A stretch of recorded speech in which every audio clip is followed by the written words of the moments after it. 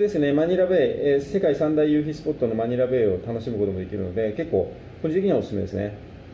海外人ご希望の方から、バックエンドについてご相談いただいてます。ビジネス用語としてのバックエンドですね。えーバックエンドの勉強方法とか、で独学でっていうことなんですけども、まあ、日本人、本当に勉強好きですよね。で勉強が好きなのは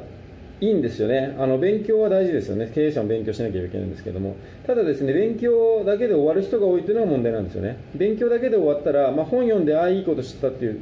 終わる人がほとんどっていうのと同じであのー実際にあなたの生活、ライフスタイルは変わらないということなんですよね。で、実際に勉強も大事なんですけど、それ以上に大事なのは、それを、えっ、と、生かすための行動ですよね。なんで、どんどん実践しなければいけない。で、バックエンドもですね、作ったらですね、すぐに売るっていうことですね。で、僕の周りで1億以上稼いでる人とか、まあ、3000万、4000万以上稼いでる人の共通点として必ず言えるのは、売るのがめちゃくちゃ早いということですね。とにかく、えっ、と、作ってから売るのが早い。で、